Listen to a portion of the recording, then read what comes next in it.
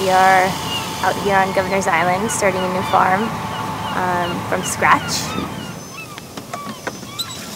Every day is different. On Wednesdays, we are like out here all alone, and it's actually really calming and it's really amazing to be able to spend eight hours totally by ourselves with this amazing view and just doing work that we can watch matter. We watch things grow.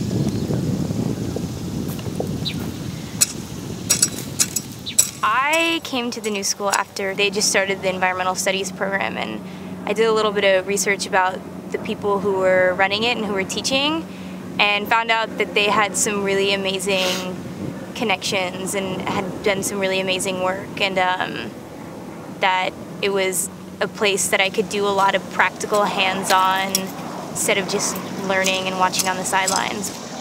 Here it's really easy to build a relationship with the professors. Um, I still talk to them throughout the summer even though I'm not in school. They check in on me, see how I'm doing out here. It's a really good place to be committed and dedicated and you will be handsomely rewarded for that. I mean, we have this amazing internship and we have, you know, these amazing professors and these amazing relationships with them because we want to. Yeah. Um, and because we put the effort in.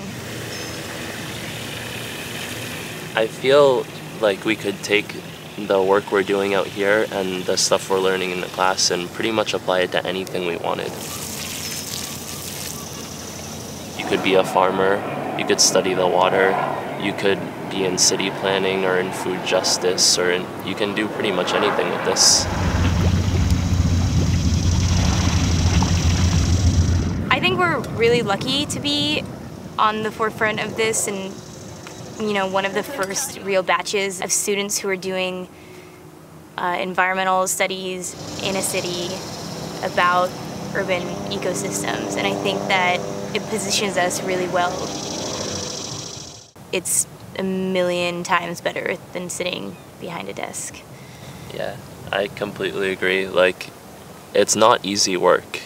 We put a lot of hard work into it and we get a lot back. It's really, really rewarding.